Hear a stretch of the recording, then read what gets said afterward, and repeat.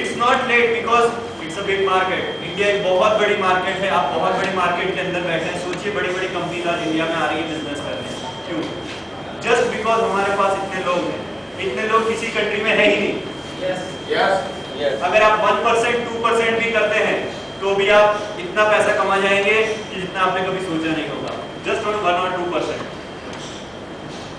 और इसीलिए आप सोचेंगे कि यार साला इतना भीड़ ऑलरेडी है कंपनियों का फिर भी बाहर की कंपनियाँ क्यों आ रही क्योंकि वो एक दो परसेंट में वो जानती है कि एक दो परसेंट भी हिस्सा मिल गया तो जितना हम दस कंट्री में कमाते हैं, उतना एक ही से कमाते हैं।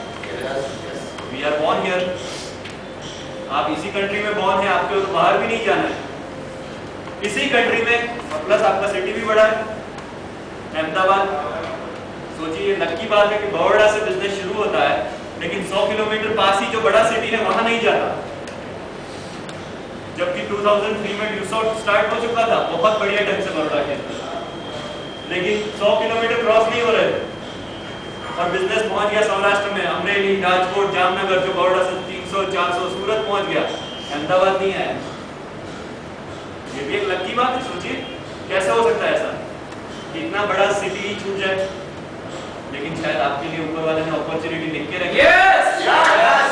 भैया ये 2009 में ये लोग काम करने वाले हैं। इसलिए यहाँ अहमदाबाद का नंबर थोड़ा लेट रखते तो बस I wish you all the best हम सब आपके साथ हैं आपकी सारी जो अपलाइन है जो फ्रंट रोज में हैं हम हैं संजय सर हैं सभी लोग आपके साथ हैं। आपको किसी भी तरह की कोई कमी नहीं होगी लेकिन आपको हमारे साथ चलना होगा। के लिए तैयार है? यस हम भी तैयार हैं कि आपको यहाँ तक इस स्टेज पर पहुँचाना आई फाइनली मुझे बहुत अच्छा लगा आज हमारी अहमदाबाद टीम से मिलके। बस एक ही ड्रीम है मेरा भी जैसा मेरी एक छोटी सी छत से शुरू होकर बिज़नेस इतना बड़ा हो गया तो आज जैसे सर ने कहा कि इस छोटे से हॉल से शुरू करके मेरा भी ड्रीम है। मैं भी यही सोचता हूँ कि अहमदाबाद शहर का जो सबसे बड़ा ऑडिटोरियम हो Yes. वो भी कम पड़ जाना चाहिए। लेकिन चेहरे ये इन मुझे मिलने चाहिए। मुझे नए चेहरे नहीं चाहिए मुझे इन्हीं चेहरों को स्टेज पर उस दिन देखना है जिस दिन पूरा ऑडिटोरियम दिखेंगे सर?